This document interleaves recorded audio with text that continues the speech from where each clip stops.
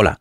Hoy tengo una entrevista especial, no saltarán anuncios en este podcast, porque, para empezar, vamos a hablar de un tema muy controvertido y con una persona que sé que va a hablar sin pelos en la lengua y llamando a los coños coños y a, las pollas pollas. Pero no porque no sepa los términos, los términos científicos, porque precisamente ella es una persona muy formada en estos temas. Es médico, es sexóloga y tiene no sé cuántos otros másters, pero bueno, ya, nos, ya nos irá contando ella. Me he leído uno de sus libros, no me he dado tiempo más, pero es probable que no sea el último que me lea de ella. Hola Rosa, bienvenida. Gracias, Héctor. Gracias a ti por acercarme. Bueno, yo estoy encantadísimo. No cada día tengo una médico sexóloga en el, podcast, ¿eh? y, menos alguien a quien he conocido en persona y que me causó un impacto tan potente cuando te conocí los dos minutos que hablamos en, aquella reunión. Lo primero que te quiero comentar y, preguntarte tu opinión tiene que ver con, con precisamente el formato de este vídeo. Porque yo subo estos vídeos a YouTube me estuve mirando la política de YouTube y solo por política ya tengo claro que este vídeo no se puede monetizar. No puede tener anuncios. Porque esto. Eh, vamos a hablar de sexo. Yo sé que tú hablas muy directa, que hablas con un lenguaje que llega a la gente, que tú podrías hablar con un lenguaje muy científico, muy teórico y tal, pero que tú no quieres hablar así. Tú quieres hablar con un, con un lenguaje que, llegue a la gente.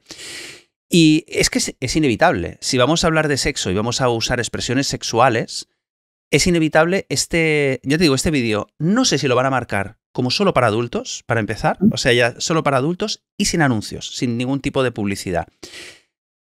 ¿Qué opinas de las redes sociales y cómo, y cómo sienten el, o, cómo, o cómo trabajan el tema de la sexualidad? A mí me parece todavía llamativo, eh, a ver, entiendo que puedan decir que es para mayores de 18 años, pero creo que la educación sexual bien entendida podría darse desde la guardería sobre todo porque luego provocaría muchísimos menos problemas. Pero no entiendo todavía, debe ser que mi cabeza no me da para tanto, que se puedan conseguir publicitar, por ejemplo, un telediario o un informativo en el que de repente puede haber muertes o degolladuras de cabezas o algo por el estilo, pero el sexo no. El que se puedan amar dos personas mm, tiene su problema. El que de repente se puedan faltar el respeto, que se puedan insultar, que podamos ver vídeos que mm, no deberían de escuchar nuestros hijos, eso no suele ser ningún tipo de problema. Entonces, yo en mi casa está prohibido desde hace cinco años el telediario, mis hijos no lo ven, pero en cambio podría sentarme con ellos a ver una porno y poder explicarles qué es lo que está sucediendo. Vale, Vale, eso lo voy a tomar nota, ¿eh? Para cuando mi hija sea un poco mayor. voy a tomar nota de, eso. Porque, por ejemplo, a mí me, causa. ¿eh? Perdona, repite. Que tienen 13, 9 y 7 años. Que eso de ser mayor o no mayor no deja de ser una película. Les dejamos ver Spider-Man, pero nos sentamos con ellos y les explicamos que es ciencia ficción. El porno no deja de ser ciencia ficción, no valorado bien, porque no es exactamente la erótica que nosotros vivimos todos los días dentro y fuera de nuestra cama. Pero nadie se lo explica. Nadie cuenta que hay cortes, que hay películas, que hay el uso de toma de sustancias, que puede ser un gran eh, aprendizaje para poder conseguir ver estructuras y relaciones que de otra manera nadie nos explicaría entonces, bueno, yo creo que ha salvado muchas relaciones, no solo por quitarles de la rutina, sino por no ser tan solamente torpe el día que vas a encontrarte con alguien.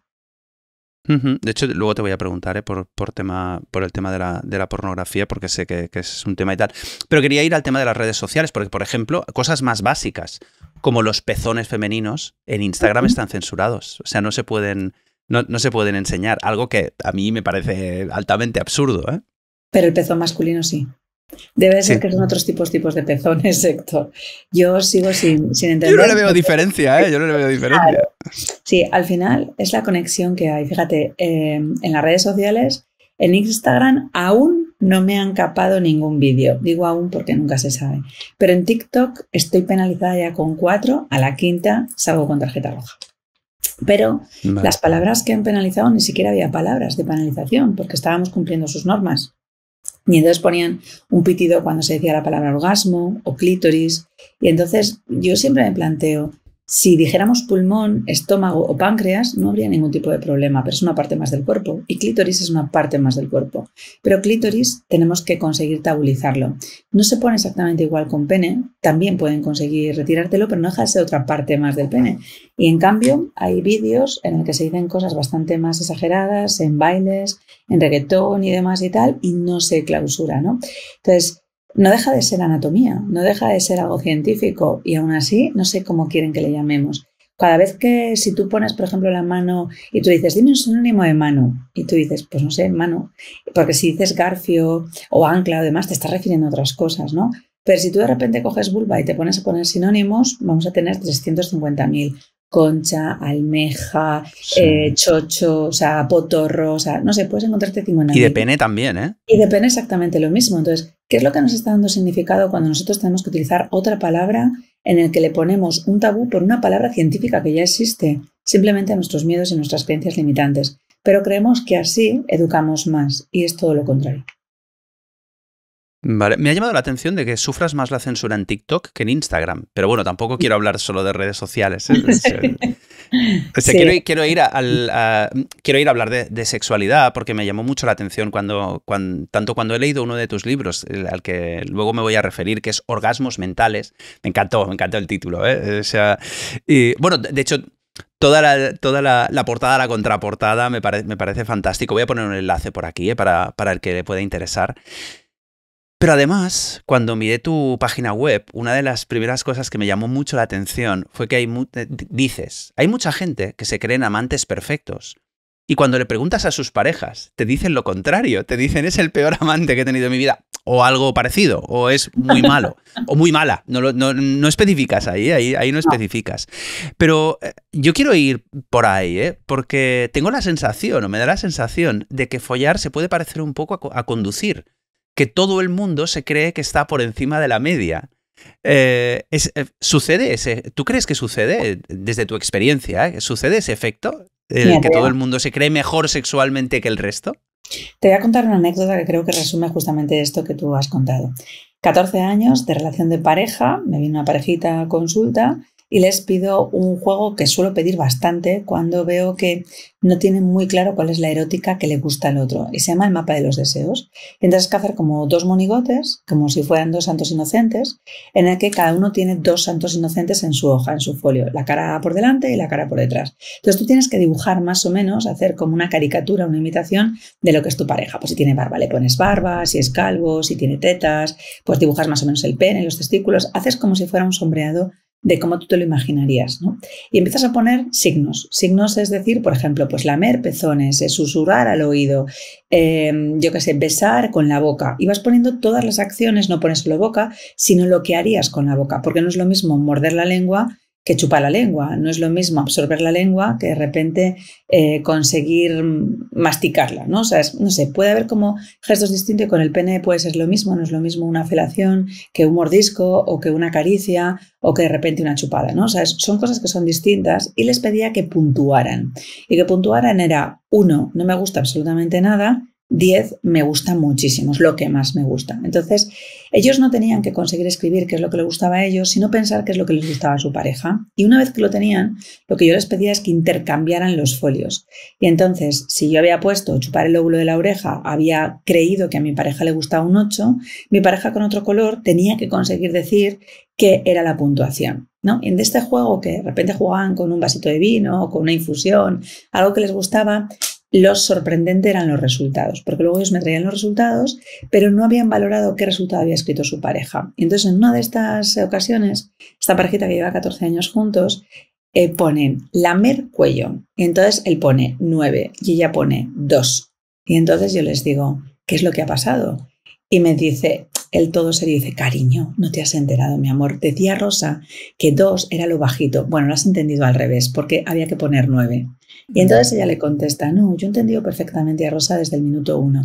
La diferencia es que cada vez que tú vienes a lamerme el cuello, yo siento que viene una vaca detrás de mí y entonces no lo soporto, me cortas todo el rollo. Bueno, lo llamativo de todo esto es que esa persona llevaba haciéndolo 14 años sin gustarle porque pensaba que era lo que la excitaba a ella. Entonces teníamos una ruptura de deseo y de excitación en ese momento en cuanto se acercaban al cuello.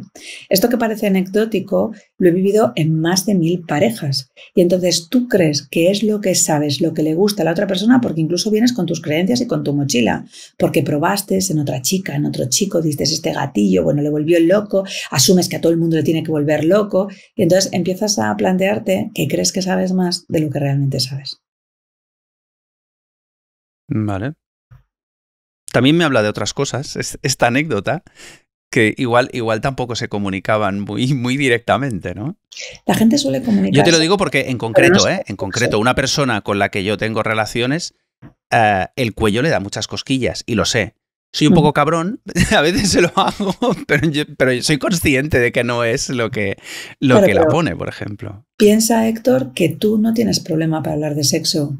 Pero ¿cuántas personas conoces que realmente son capaces de comunicar no solo sus emociones, sino su comunicar sus emociones dentro del sexo? No te puedes imaginar simplemente este mes cuánta gente me ha dicho, Rosa, mira, es que me apetece estar deseando a mi pareja, pero no sé cómo decirle que no me gusta, que ya no me pone exactamente igual, que me gustaría que pudiéramos conseguir practicar una fantasía, porque me da miedo cuál va a ser la actitud y la consecuencia que me va a decir. Gente que no lleva un mes o dos meses que puedes decir que no tiene confianza. No, no, gente que puede conseguir llevar años con su relación de pareja. Entonces, no es que no tengan comunicación o no tengan confianza, sobre que la diferencia es que, que en el sexo no les han contado porque nadie les enseñó. Ya. Es de esas cosas que no nos enseñan. Hay, hay tantas, ¿eh? Hay tantas que... Yo sé que estás también en otros temas, pero el, tema, por ejemplo, de la gestión económica del dinero, de cómo ganar dinero, cómo vender, todo eso tampoco, tampoco nos lo enseña. La gestión emocional, hay tantísimas cosas. Claro, entonces ahora eh, es, que te iba a hacer otra pregunta que tiene relación con esto. Eh, te iba a decir, cuando, cuando leí, ya te lo dije, Orgasmos Mentales, me lo leí de una sentada. O sea, me encantó, me encantó, me pareció una maravilla. Y, algo, o sea, ¿cómo te lo diría? Me pareció un libro necesario. O sea, me pareció un libro necesario. Eh, yo he tratado temas de sexualidad, aunque yo no doy consejos sobre, sobre sexualidad con personas que me consultan, porque claro, yo, yo, yo me encargo, ya te lo dije esto, yo, yo me encargo de la primera parte, ¿no? De que, de que consigan a alguien que, que, quiera tener sexo con, con ellos.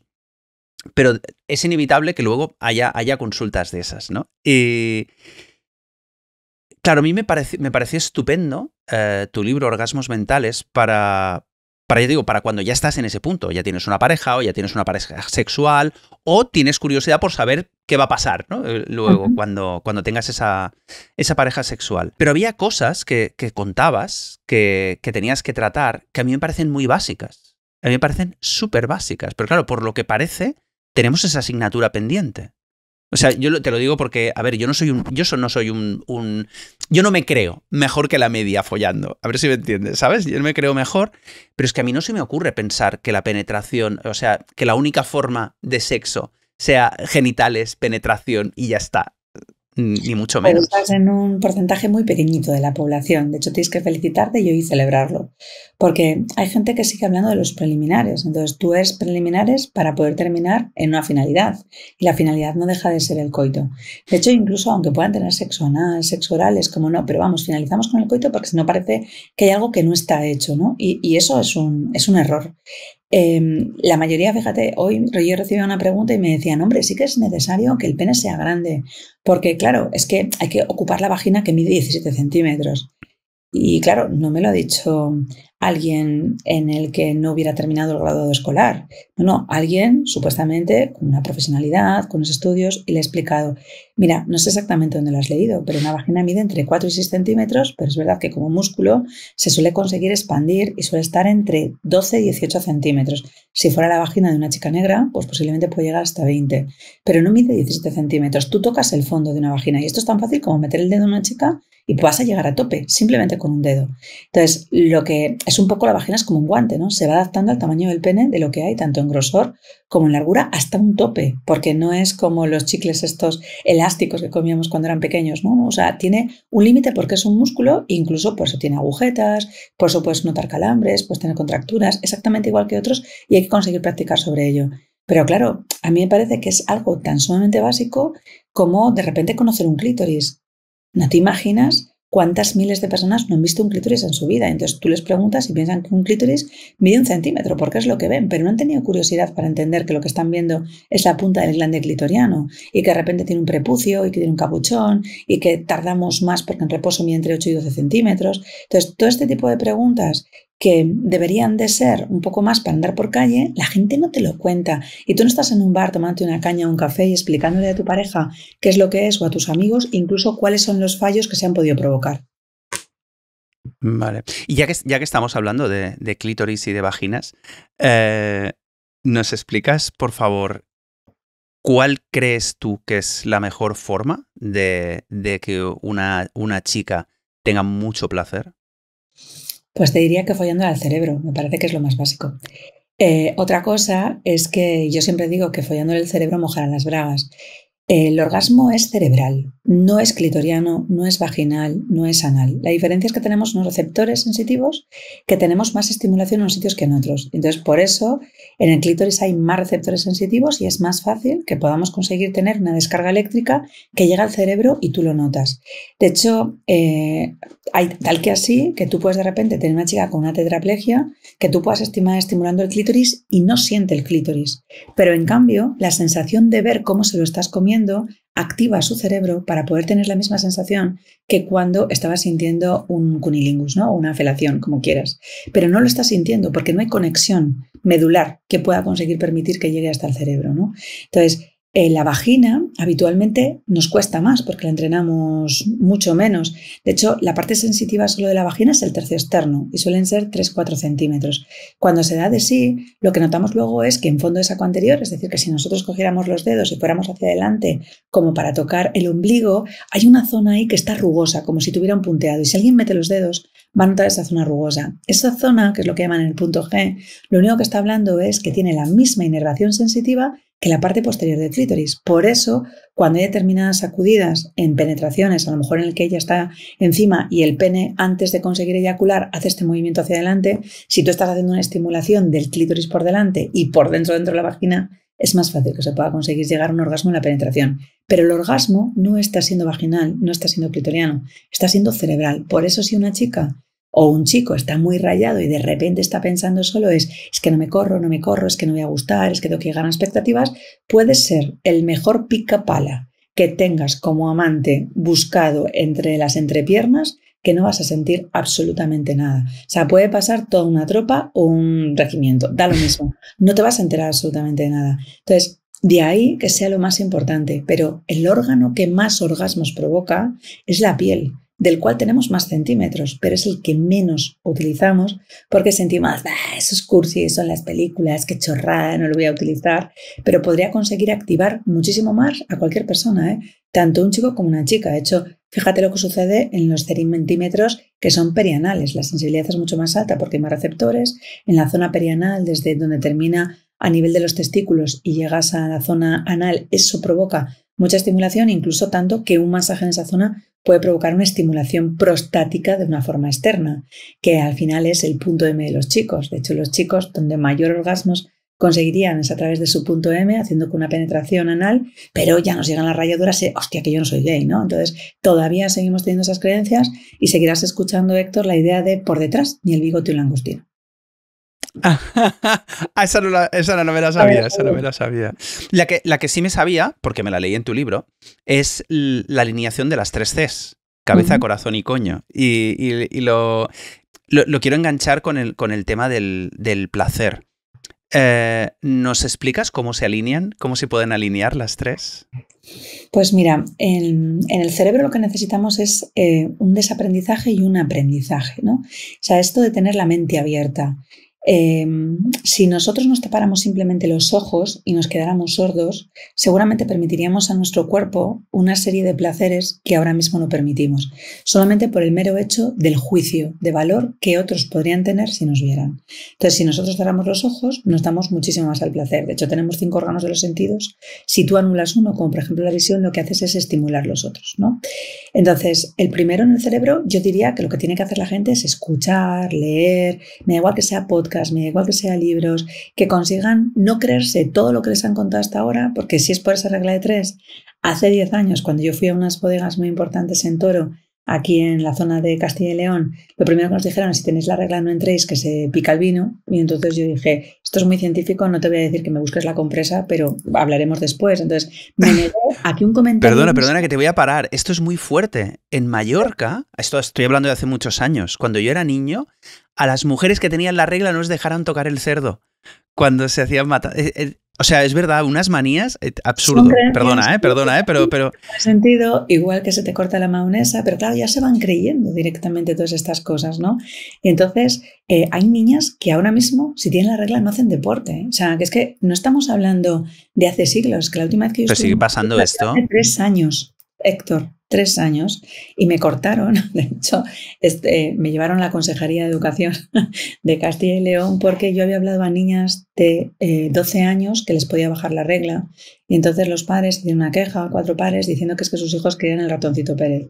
Entonces mi contestación fue, está genial que crean el ratoncito Pérez, pero diles que se sigan lavando los dientes con un cepillo porque puede haber caries, ¿no? O sea, hay una parte que no podemos anular y todavía seguimos creyendo en muchos unicornios que vuelan por encima de nuestras cabezas, creyendo que estamos protegiendo a nuestros hijos y adultos y no es verdad. De hecho, hoy me preguntaban que si en la menopausia, ¿no? Estamos en una línea de que es que dejamos de desear. No es cierto. De hecho, podemos tener muchos más orgasmos, volvernos poliorgásnicas, pero ya nos contaron que es que en la menopausia se nos iba a cortar el rollo. Y entonces, según vamos llegando, nosotros ya vamos provocando que se nos corte parte del rollo. Y ahí vivimos tranquilas, ¿no? Entonces, por eso digo que el cerebro lo primero que tendrían que hacer de todo es conseguir hacer un desaprendizaje de toda la mierda que nos han metido durante tanto tiempo y empezar a conseguir aprender cosas que sí son ciertas. Porque eh, fíjate, uno de los vídeos que yo voy a grabar ahora en breve en el siguiente recorrido es sobre una esponja vaginal. La esponja vaginal tiene más de 20 años de existencia, pero hay gente que todavía sigue sin tener relaciones sexuales cuando tiene la regla porque cree que no se puede, cuando es el mejor momento para que una mujer tenga un orgasmo y más placer a la hora de una penetración vaginal. Pero ni siquiera conocen que existen las esponjas vaginales. Y no es que es algo que se haya descubierto hace dos días, ya existían. De hecho, había esponjas en 1975, pero mm, no estamos en el 2023 y nos da exactamente lo mismo, ¿no? Entonces, claro, primero vamos a desaprendizar cosas que nos han enseñado y luego vamos a empezar a hacer aprendizajes que sean válidos. Porque mm, yo imagino que tú sí lo sabes, el 80% de las niñas ahora mismo nacen sin imen. Nacen sin imen. No es que sea es que nacen sin él pero seguimos creyendo en determinadas culturas y en ideas y las niñas viven con miedo, no vaya a ser que se me rompa el himen y entonces la pareja con la que esté se dé cuenta. Y de hecho se pagan 3.000 pavos por himenoplastias. Que está genial, que yo no voy a quitar que nadie se gaste el dinero donde quiera, pero simplemente para que la otra persona sienta que su pareja está hecha por y exclusivamente para él. Que podríamos tener un discurso de la leche pensando qué es el significado de todo eso, ¿no? Pero el 80% de las niñas nacen sin imen porque evolutivamente ya no le precisamos. Antes teníamos muchas infecciones vaginales y con infecciones de orina y como ahora tenemos bragas, que es que parece que no, pues que evolutivamente ya no vamos a cuatro manos, ¿no? O sea, vamos de pies, vamos erguidos, hay muchas cosas que han cambiado, nuestra forma de comunicarnos es distinta, lo vemos en un bebé que de repente intuitivamente coge un iPad, hay muchas cosas que nuestra inteligencia ha evolucionado y que genéticamente desarrollamos y el imen es una de ellas que están en desevolución, ¿vale? Cuando nosotros pasamos con esa línea de aprendizaje tenemos que sentir las emociones, hay mucha gente que no siente emociones y no siente el placer de darse permiso de poder disfrutar. Ya no digo que les palpite el coño, ¿eh? No, no, no. Digo el permiso de enamorarse, desenamorarse, de poder sufrir, de poder llorar, de poder eh, ser vulnerable para que tú puedas conseguir enamorarte. Entonces, tienes tantos miedos, los celos, que es una emoción que es sumamente subjetiva y temporal, que no debería de existir porque solo habla de tu autoestima baja. O sea, todas esas cosas son las que tendríamos que colocarnos a nivel de corazón. Y cuando ya todo eso lo tenemos hecho, el palpitar instintivo, esa parte que yo suelo decir de saca la puta que llevas dentro de una forma muy positiva, debería poder ser para todo hombre y toda mujer, porque tienes que sentir cómo palpita. Hay mujeres que se les ha olvidado su pálpito y de hecho cuando empiezan a notar que están muy excitadas y les palpita el clítoris y notan el latido, que es lo que les lleva a saber que va a llegar ese orgasmo a través de una estimulación clitoriana, de repente se paran, porque se ponen tan nerviosas que cierran las piernas, que de repente sienten un tembleque, y es que todavía sigue habiendo un 40% de mujeres que nunca en su vida han tenido un orgasmo. No sé a ti, pero a mí en el 2023 me parece preocupante. ¿Ni solas? Ni solas. De hecho, son muy poquitas mujeres todavía las que se masturban. ¿eh? A ver, evidentemente tenemos más porcentaje y de hecho llegó el gran Satisfyer ¿no? para que las mujeres no se tocaran, sino que a través de un instrumento pudieran sentir una sensación de placer que nunca habían sentido. Hay chicas que todavía se duchan con una esponja para no tocarse directamente su vulva. Entonces, esto que parece de cromañón, ¿no? O sea, esto es lo que se ve día a día. es que igual yo estoy muy sesgado, Rosa. Es que, claro, a mí me parece que me estás hablando de, hace 50 años. Pues lo verás cuando tengas comentarios dentro del grupo y la gente que escucha, pero tú a un hmm. niño no le enseñas a lavarse el pene con una esponja a una niña así, desde que son pequeños. Al chico le dices echa para atrás el prepucio, lávate el glande, pues limpiarlo con la mano para quitar el esmegma. En una chica no, en una chica utilizas esponja. Entonces que sea suave, tienes un cambio de pH, cuidado no te huela, porque están los champús y los geles que hacen que tu vulva no huela a vulva, cuando es lo más feromónicamente excitante que puede tener una pareja heterosexual y un chico, ¿no? Y seguimos utilizando distintos geles que nos cambian el pH, que podemos tener más infecciones urinarias, que podemos hacer más candidiasis, pero seguimos estando ahí simplemente desde el puro desconocimiento. Entonces, hay chicas que cuando van a gritar y se van a dar permiso, pues se, tapan la mano, no tienen que gritar, por favor que vamos a despertar a alguien. Y todo esto es lo que te han contado, porque en el fondo es qué vas a pensar tú de mí si yo me doy permiso para poder desahogarme. Todavía es el día que sentimos el cazador, que es el cazador el que viene por nosotras, y nosotras las que nos damos permisos. Y chicos que todavía se acojonan, y esa es la palabra, cuando de repente una chica le dice, esta noche no vas a pasar ni frío ni hambre, ya me encargo yo. Y de repente es una inhibición porque, aunque muchos sueñen y digan, me encantaría tener una tía así, luego la verdad de la verdad es que esa parte de cazador todavía no la hemos terminado de desaprender. Esto, esto sí lo vas a ver en los comentarios, que ya, verás, ya verás que dirán, yo quiero una que venga a cazarme. Ya te digo yo que, que en mi audiencia muchos van a decir, hostia, ojalá, ojalá viniera alguna a cazarme. Pero bueno, eh, has, hablado de, es que estábamos hablando de las tres Cs, de alinear cabeza, corazón y coño, y has hablado de, atreverse a sacar la puta que lleva dentro. Eh, vale, tú que tienes mucha experiencia, y eso, eso, ¿cómo se lo enseñarías a un hombre? Ah, ¿Cómo sería el, puto que lleva? No sé explicarlo, ¿eh? ¿Cómo sería el follador que lleva dentro? E, es exactamente igual, ¿sabes? Es darse permiso, porque fíjate que hay muchos chicos que creen que pueden darse permiso, pero hay muchos que van con mucha más inhibición por el miedo al rechazo, al juicio de valor. O sea, si no hubiera ese miedo, no habría gatillazos, no tendríamos disfunciones eréctiles psicógenas. Y hay un 60% de las disfunciones son psicógenas. Hay mucha patología orgánica. Las eyaculaciones precoces no existirían. Ni tendríamos un problema de eyaculación retardada, ni en eyaculación, porque yo sentiría es, voy absolutamente por todas, voy a conseguir ir a, la plaza de toros a cortar las dos orejas y el rabo, ¿no? Porque ole, ole y ole lo que te voy a hacer ahora mismo, ¿no? Entonces, esa sensación de empoderamiento, igual que conseguimos decir el yes we can y venga, vamos a por todas y vamos a impulsarnos y vamos a tener un negocio y nos lo creemos, debería ser exactamente igual en la cama. Y que además tú pudieras conseguir tener la seguridad y la autoestima para decirle, mira, tenga que hacer lo que tenga que hacer, no vas a volver a vivirlo en tu vida, porque yo lo voy a entregar absolutamente todo. Esa seguridad es la que hay que llevar a una cama y fuera de ella. ¿Que te pueden decir que no? Pues a lo mejor no sabemos si el no es a ti, es a qué, es a cuándo, es a cómo, pues vas a poder recibirles. Pero si no te das el permiso, ya le tienes el no. De hecho, yo siempre digo, o sea, tú imagínate que tu pareja te dice que no quiere sexo esa noche. Ya, pero si no te atreves a preguntarlo, ya tienes el 100% de no. Entonces, oye, un 50% no la estamos jugando. Jugáis a la lotería y tenéis muchísima menos probabilidad. La jugada no es aprender a pedir sexo, sino el cómo lo haces. Porque dependiendo de cómo sea tu pareja, vas a saber que tienes éxito o no. Yo suelo creer que alguien eh, va a follar si sabe cómo. Y si no consigue esa noche, es que tuvo torpeza a la hora de pedirlo. Porque sí o sí, uno, tanto un chico como una chica, tú solo piensas cómo es tu pareja y puedes conseguir hacer un enclave. O sea, si yo, por ejemplo, tengo un chico que es muy rosa, no le voy a decir, ay, mira, es que tengo un nuevo sujetador transparente, mira, te lo mando, porque le voy a bloquear. Pero en cambio, si es azul y le enseño solo una foto del tirante, le tengo encendido el resto del día. Claro, entonces Tú tienes que saber cómo poder conseguir provocar eso, pero tienes que entender quién tienes al otro lado. Si tú a una chica que es más rosita eh, necesita muchísima más sensibilidad, más auditiva, lo que le dices es, según te vienes, te lo voy a comer, pues no se presenta en casa, llega tres horas más tarde. Entonces, Claro, pero si tú le estás contando, me apetece hablar contigo, que me cuentes, quiero darte un masaje, vamos a ver si podemos conseguir susurrar y podemos estar simplemente besándonos una hora entero. Y la gente dice, pero ¿para qué te vas a besar tanto tiempo? Hostia, se puede conseguir un orgasmo simplemente besándose sin tocar absolutamente nada. Entonces hay gente que nunca ha disfrutado simplemente un orgasmo solo por el mero hecho de besarse. Pues a veces hay que conseguir inhibir otras partes del cuerpo. Para Perdona que te, te aquí, Rosa. Te de parar aquí porque esta la tenía preparada, me lo leí en tu libro y, a ver, repito, yo no soy ejemplo de nada, no soy el mejor amante del mundo, ni muchísimo menos. Me encantan los besos, me encanta besar. Yo me he estado besando horas, horas, me encanta hacerlo, pero nunca ninguna chica se me ha corrido besándome. O sea, yo y yo nunca tampoco me he corrido besando. Solo besándome no me ha pasado nunca eso, ¿eh? o sea, más. pero no, pero, no, no, yo lo digo porque si, si tú dices que es posible, me lo creo, pero ¿es verdad que eso es así? Sí, sí, o sea, Y, ya te digo, y he visto, o sea, y he visto orgasmos de, muchas formas que no son tocando un clítoris o penetrando, ¿eh? Pero besando, ¿no? Pues eh, esta es la suerte que te quedan todavía muchos años para poder seguir curioseando y decirle a la siguiente chica, oye, a mí me ha retado Rosa Montaña y entonces tengo que conseguir plantearme si podemos hacerlo solo con beso y luego seguimos jugando.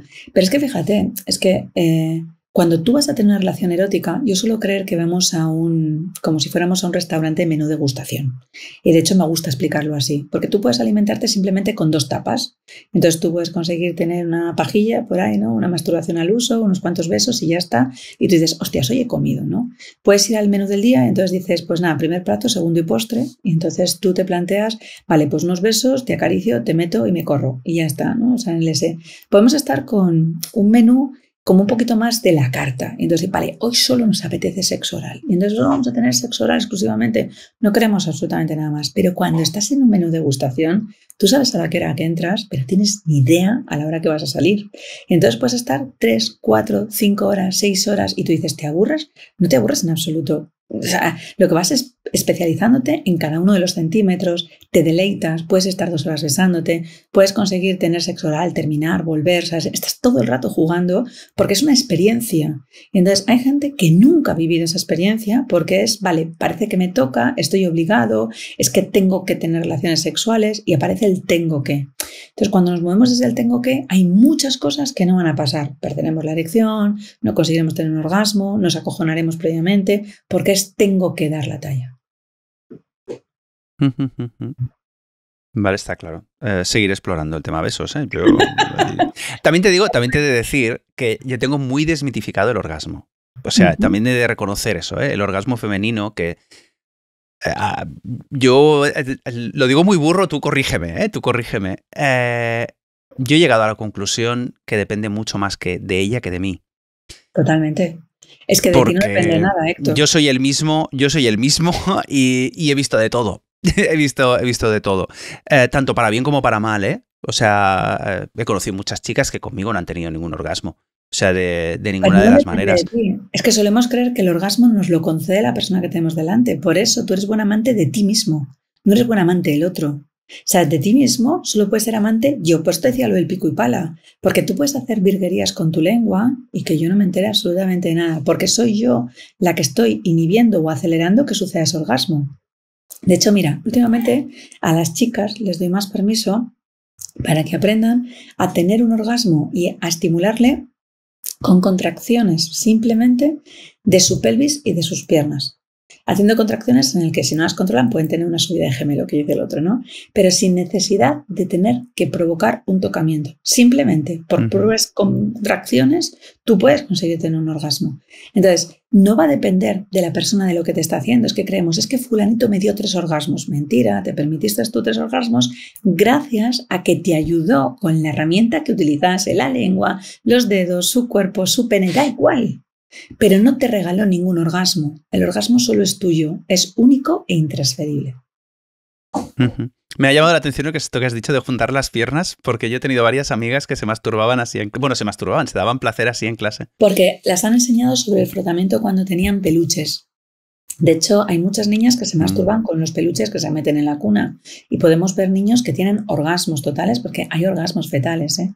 A partir del séptimo mes, si tú tienes un orgasmo, entonces las mujeres que se quedan embarazadas es bueno que tengan orgasmos para que su bebé también lo sienta. Y esto se ha visto y se ha comprobado con ecografías y demás.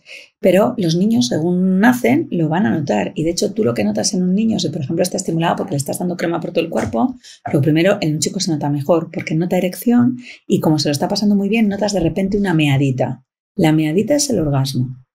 Porque un niño, cuando es muy pequeño, no tiene una eyaculación no tiene un líquido seminal que sale.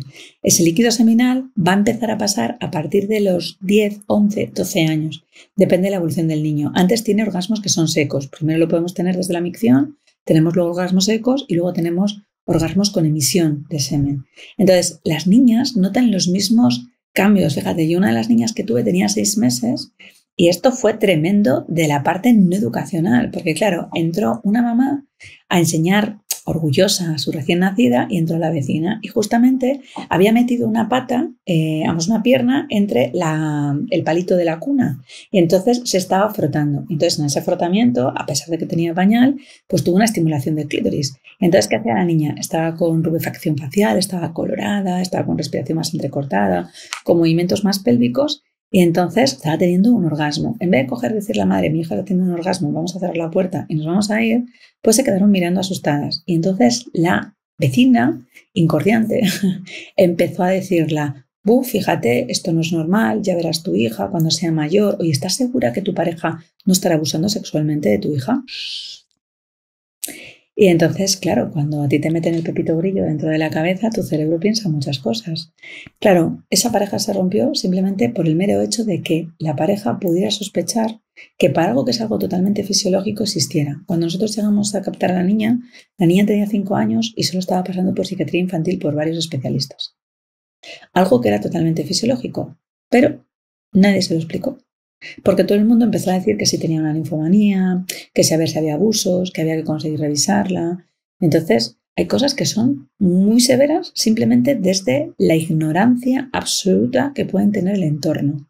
Por eso tenemos que tener cuidado de qué escuchamos y de quién lo escuchamos, porque si me dices que yo tengo una amiga, yo he oído, he visto un artículo, no te han enseñado absolutamente nada, pero seguimos creyendo que eso tiene que ser así. Antes hemos pasado por, por encima de, ah, bueno, has pasado tú por encima de algunas cosas, algunos problemas que se encuentran hombres, que, eh, pero hemos hablado muy, muy poco, ¿eh? de problemas de la erección, de no poder eyacular, eyacular demasiado rápido y tal, y me gustaría centrarme ahí porque ya sabes que mi audiencia es, mayormente masculina. Eh, ¿En, qué, en qué, problemas tienen chicos que puedan ser o puedan haberse sentido inseguros con mujeres a la hora de tener relaciones sexuales y cómo pueden mejorar e, esas situaciones? Hay tres patologías, te diría que una cuarta que puede ser consecuencia de las anteriores. La más frecuente de todas es la disfunción eréctil psicógena. Es decir, ellos no tienen ningún tipo de problema a la hora de tener erecciones matutinas, no tienen ningún problema si se masturban, pero cuando están teniendo relaciones o sienten que tienen que dar la talla en una penetración, se les baja. A veces se les baja antes de meterla o incluso al poquito tiempo de haberla metido. ¿Vale? Todo está funcionando muy bien, funciona bien el sexo oral, funciona bien la masturbación, pero de repente tienen que conseguir hacer una penetración y ahí hay un gatillazo. A veces les pasa porque creen que se tienen que poner el preservativo. El preservativo es sumamente elástico como para que no provoque ningún tipo de presión en el pene. O sea, se puede conseguir meter una botella de agua de litro y medio y no hay ningún tipo de presión y yo lo he comprobado metiendo un pie, así que no hay tantos grosores. Además hay tallas, ahora además hay tallas de preservativo. Si no, es, no, hay excusa, no hay excusa.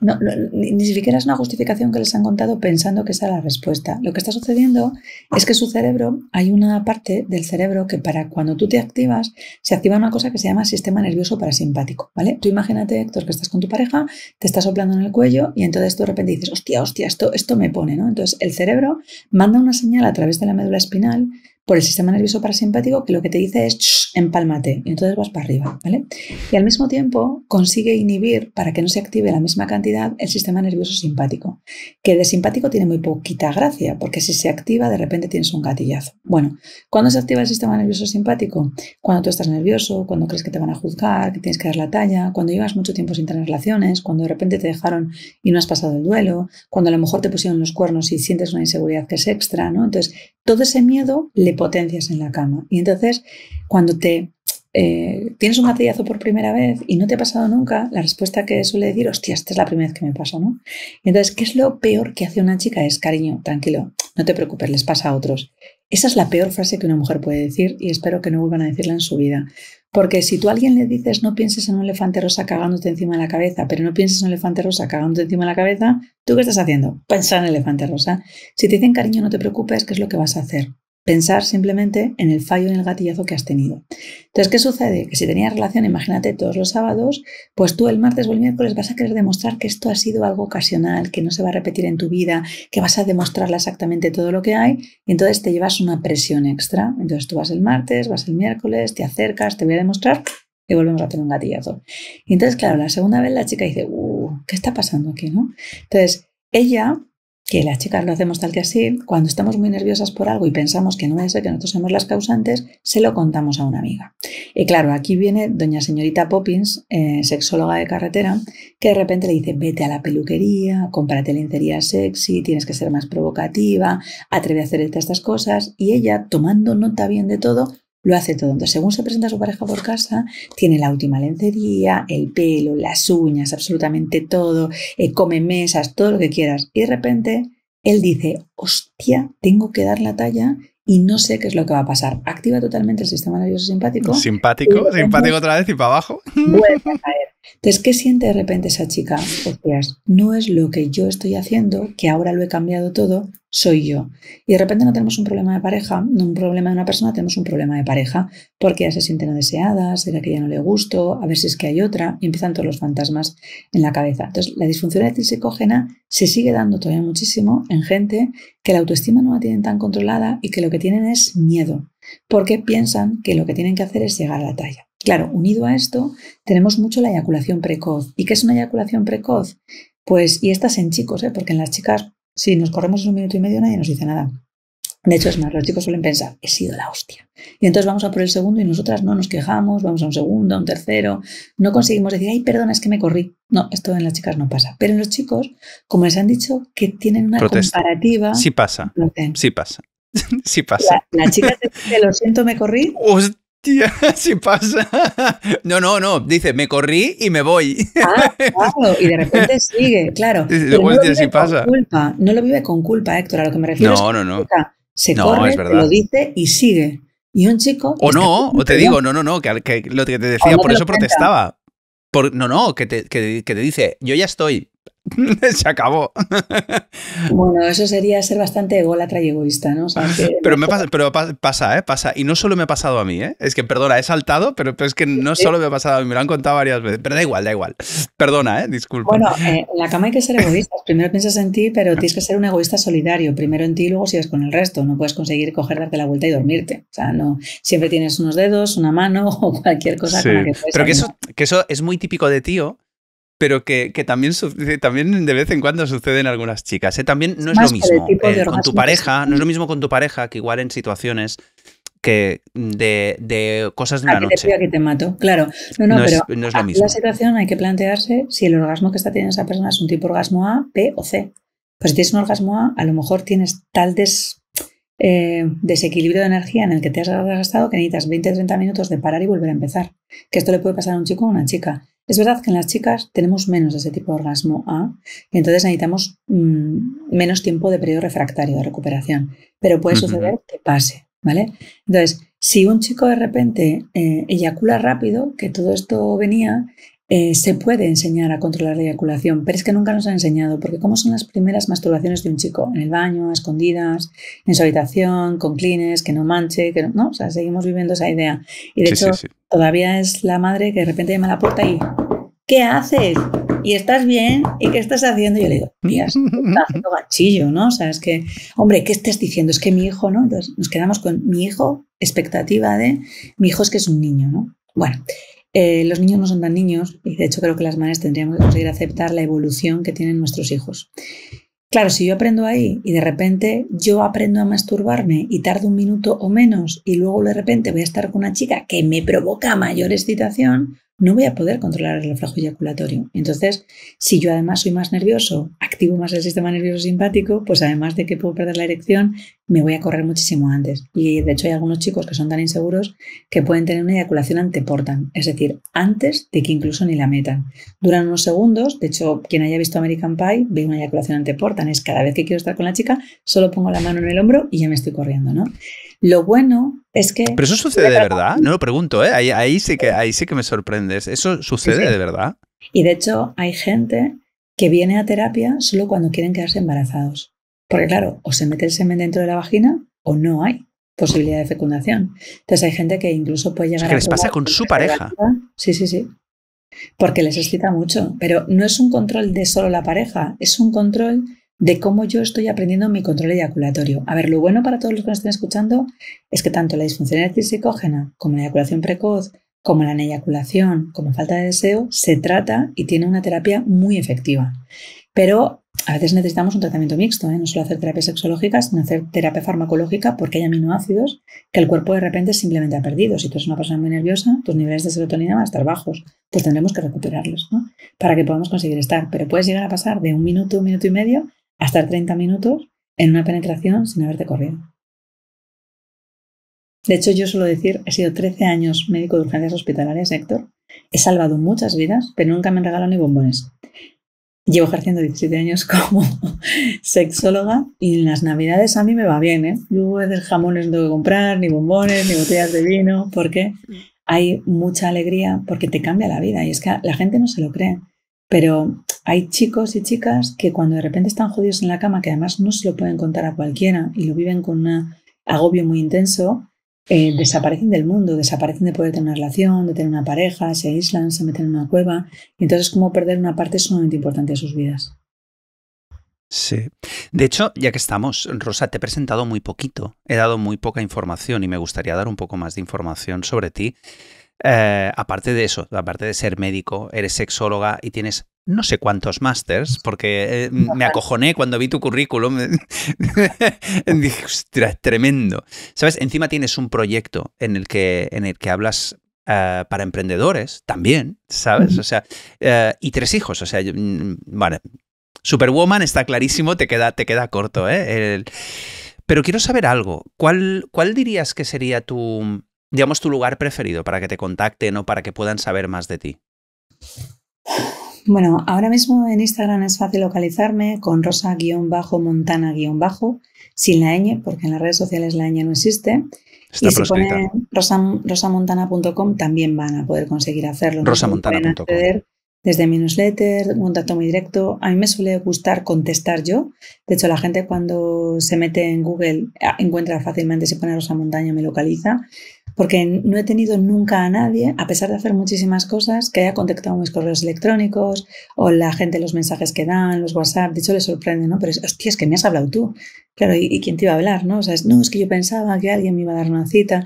A mí me gusta tener un contacto directo con, con los clientes porque si de sexo cuesta y tienes que conseguir romper una barrera para tener confianza, uff, contarle a cualquiera que es, no lo he pasado, solo me ha pasado una vez, ¿eh? que yo tenía un, hace unos años tuve un secretario que era chico, entonces el señor venía tan nervioso, tan nervioso, 93 años, es que fue divertidísima la anécdota, porque él le vio a él y entonces empecé a decirle, doctor, doctor, doctor, es que tengo que contarle, porque yo quiero seguir teniendo relaciones con mi pareja, pero claro, es que solo llego una vez o dos veces, y entonces yo querría seguir llegando las tres veces que llegaba. Entonces mi secretario estaba tan flipado que solo decía, perdone, perdone, no, no, déjeme contarlo todo golpe porque si no, no lo cuento. Entonces, cuando terminó de contar absolutamente todo, me dijo, yo encantado, pero soy el secretario, la doctora viene ahora, ¿no? Y entonces él decía, yo me voy a hacer una camiseta porque de mayor quiero ser como este hombre, ¿no? O sea, pero que haya un filtro con que alguien de repente al que tú le vas a contar algo que es importante para ti, que son tus vergüenzas más extremas, porque ya estás hablando de chicos, pero es que habrá gente que a lo mejor te escuche que ha tenido algún tipo de discapacidad o ha tenido una lesión medular. ¿A quién se lo cuentas? ¿no? Pues a mí me gusta que me lo cuenten directamente a mí. Vale, está, está muy bien. Eh, tengo una pregunta egoísta. Suelo hacer una pregunta egoísta en, mi entrevista. Eh, yo tengo un regalo, un regalo que me gusta hacerle a mis amigas. Es un succionador de clítoris porque, aunque algunas ya lo tenían, también he de decir eso, eh, es, de esos regalos que creo que, es un regalo chulo, porque les, les suele encantar. Pero algunas, y no sé, no sé quién ha alimentado ese rumor, eh, dicen que si lo usan mucho, dejan de tener capacidad de tener orgasmos de otras formas. Bueno, no ¿Cuánto hay de verdad? No es un rumor tan extraño, sobre todo dependiendo a cuál sea la intensidad a la que tú aprendas al tener el umbral del orgasmo. De hecho, muchas chicas que no se han estimulado nunca con el clítoris con los dedos, eh, pasan directamente a un succionador. Entonces luego la estimulación con el dedo no funciona. O sea, eh, como todo en la vida, tiene su vicio, ¿no? O sea, eh, bien usado, no hay ningún tipo de problema, internet, un teléfono, lo que quieras, pero con un uso más patológico, ¿sabes? Con una dependencia puede provocar una parafilia. Entonces, si yo de repente solo me acostumbro a tener orgasmos a través del succionador, luego va a ser mucho más difícil que yo consiga esa misma estimulación, porque claro, tú piensas que los receptores que tenemos sensitivos lo que han provocado es una descarga eléctrica mucho más alta. Si yo subo el umbral que necesito de mi excitación, o llegas hasta ahí o no voy a conseguir correrme porque me acostumbro. Entonces, aquí lo bueno es que podamos conseguir compaginarlo. Entonces, no es todo o nada, sino que podamos conseguir utilizar como una herramienta más que enriquece nuestra erótica. Entonces, ojo para todas las chicas que de repente solo utilizan un succionador de clítoris, porque a lo mejor desaparece su contacto con la vagina o justamente que luego puede haber una estimulación con lengua, no tengo la misma potencia, porque no tengo la misma vibración en lengua que puede conseguir tener un succionador por mucho que hagas virguerías con la boca. No, es imposible, es imposible, lo, he intentado. no, se puede, no se puede, no, se puede competir. Esto es como las inteligencias artificiales. A ver, no se puede competir con ellas, pues no se puede competir con el Satisfyer, eso está claro, ¿eh? con el succionador no se puede. No se puede, eso ya, ya lo, tengo, lo tengo bastante asumido. Eh, pues pensaba que me ibas a decir otra cosa, ¿eh? sinceramente, ¿eh? pero está bien, está bien que he aprendido, he aprendido con esto. de hecho, yo he tenido clientes que vivían una erótica muy rica, muy, muy, muy rica, entró el succionador de clítoris en sus vidas y de repente, siendo amantes muy profusas, em, empezaron a sentir que necesitaban una colaboración. Y les gustaba desde cualquier tipo de agujero ¿eh? de su cuerpo, pero la sensación ya no era exactamente la misma. Porque es eso, cuando tú es como una película de miedo. Yo lo veo un poco igual, ¿no? Yo soy una cagada, entonces yo no veo una película de miedo porque yo simplemente si noto ya la película en tensión, yo me pongo a 100. Y de hecho las personas que ven esa película conmigo pasan un terror horroroso, pero por cómo yo lo vivo. Pero cuando tú te acostumbras a de repente ver una película de terror, otra, otra, otra, el otro día me decían, es que he visto una película ahora y bueno, tampoco tenía tanto. Yo digo, si llevo esa película me cago encima. O sea, es que, es que no hay más, pero ya se han acostumbrado, ¿no? O sea, yo, los médicos cuando nos formamos, hacemos anatomía con cadáveres. Y entonces, claro, alguien dice, ¿cómo vas a trabajar con un muerto? Pues yo primero me impresionó y no comí, pero luego me he comido un sándwich con una mano y con el otro estaba tocando tripas. ¿Por qué? Porque te acostumbras. Entonces, tu cuerpo, y cuando le quitas esa innovación, de repente llegas a otro tipo de nivel. Y me da igual que sea eh, una película, que sea un chat una, la, la, posibilidad de un succionador, porque te has acostumbrado. Entonces, las primeras experiencias son más llamativas, pero si te quedas que todo el rato tiene que ser ese nivel de umbral de experiencia, vas a pedir exactamente lo mismo. Vale, esto lo, había escuchado. La adaptación hedónica que dicen, ¿no? Pues. Oye, y, y una, una, la última, ¿eh? la que me llamó muchísimo la atención. Eh, ¿Cómo abogas por el uso en positivo del porno en, en tu libro? eh, ostras, ahora que parece ser que está cada vez peor visto el, el porno, como que es algo eh, casi, ¿cómo te lo diría? Casi abuso. Ver, parece que ver porno, o al menos es lo que he estado viendo últimamente en redes sociales, parece que ver porno es, es, casi abusar de la chica que está apareciendo en, pantalla. Eh, y tú dices casi todo lo contrario, que incluso puede tener una función educativa. O, estimularnos la, imaginación para probar cosas. Mira, em, hay una película eh, que consiguió sacar el director Centeno, eh, que se llama Yes We Fuck, que a lo mejor has visto, que hace, creo que son cinco capítulos, son cinco o seis, ahora mismo no te lo sabría contar, en el que enseña la erótica de personas que tienen diversidad. Eh, interesantísimo poder verla, porque no solo vas a poder conseguir ver otros cuerpos totalmente diferentes a los tuyos, sino que vas a ver cómo otras personas se estimulan. Yes We Fuck fue porno. Entonces se veía cómo otros cuerpos se daban permiso para poder erotizarse, salió en cines, Hubo muchas críticas positivas y negativas, hubo un gran movimiento, consiguieron premios, pero eh, abrió las puertas a que gente que nunca se había planteado, yo entre ellas la primera, ¿eh? yo os lo juro, que fue un documental que para mí fue muy llamativo porque con ciertas distrofias nunca me había imaginado que se pudiera conseguir disfrutar de esa manera y era mi propia creencia de lo que había visto. Eh, el porno puede ser utilizado para eh, que ni siquiera tenga que ser un porno consumido que sea de otro, puede ser el propio porno que trabajas de tu pareja y que tenemos que conseguir saber una cosa, que es que el porno lo que te está diciendo es que hay una grabación de penetraciones, de, una forma en la que se está viendo cómo una penetración se lleva a cabo, mientras que en el cine erótico tienes el mismo cuerpo, el mismo desnudo, pero no se ve un directo de, penetración. Bueno, eh, para poder conseguir explicar, por ejemplo, una felación, no es fácil poder conseguir decirle, no pones a tu hija sentada a tu lado y le dices, mira, cariño, te voy a enseñar cómo es una felación. Pero le enseñamos a conducir, le enseñamos a leer, le enseñamos a comer, le enseñamos, yo que sé, a estudiar, a presentar una posición, le enseñamos muchas cosas. Pero de repente algo que es tan tabú y que es tan negro, ¿quién mejor que puedan conseguir enseñarte las personas que saben incluso cómo lo han vivido y que tú puedas decirle, pues mira, cariño, es que la primera vez que yo me metí un pene en la boca me dio arcadas, ¿no? Entonces, pues tienes que conseguir respirar con la boca, no con la nariz, porque si no, pues, bueno, pues a veces esa forma es cortar un trozo y decirle, mira, esto es lo que pasa. Pero repito, el porno educativo si enseñamos es lo que está pasando. No todos los penes miden 20 centímetros, no se mantienen erecciones continuas, tú no estás viendo cómo se inyectan directamente el caberjet o cómo están utilizando Muse. O sea, no, no lo estás viendo, pero eso tienes que conseguir contarlo. Entonces, eh, claro, cuando tú ves solo el porno y lo único que estás viendo son penes de repente que son más gigantes o pechos que están, eh, que se ven perfectamente, haces incluso las cicatrices, pues cambia. Pero es que no solo existe ese porno. Hay un porno de erótica mucho más femenina, que por ejemplo hay una directora que se llama Erika Last, que lo que tiene es una comunicación, unas relaciones distintas, preparado un porno femenino, porque solemos atacar solo el porno que ha sido pensado y dirigido para hombres, pero cada vez hay más mujeres que dirigen porno femenino y porno que a los hombres también les gusta. Entonces, meter todo en un saco eh, como porno a mí me parece que es muy de llamación. No quito la idea de que, evidentemente, la mayoría de la gente que está allí es voluntario. Y de hecho, hay tanto que igual que subes un vídeo a las redes sociales de cualquier otra cosa, aquí te pagan. Y de hecho, si no, que me cuenten todo lo que está sucediendo con esta red social que yo he flipado del todo, o sea, yo lo había oído todo hasta esto, que estaban apareciendo muchos fetiches que de repente la gente cobra hasta 30.000 euros al mes por hacer las fotos de sus pies. Esto es un fetichismo. Entonces hay gente que se excita viendo los pies de otras personas. Entonces hay aplicaciones en las que tú subes la foto de tus pies, que no deja de ser erótico para estas personas, pues estás enseñando tus pies y la gente cobra pasta, pasta gansa. ¿Vale? O sea, no, ni siquiera tenemos que ver una vulva ni, nada por el estilo. Pero desde el otro lado vemos solo pies, es que para esas personas es un fetiche, es una parafilia. Necesito para activarme y excitarme ver esos pies. Pero ahí no le damos ningún tipo de ridículo porque no estamos viendo genitales.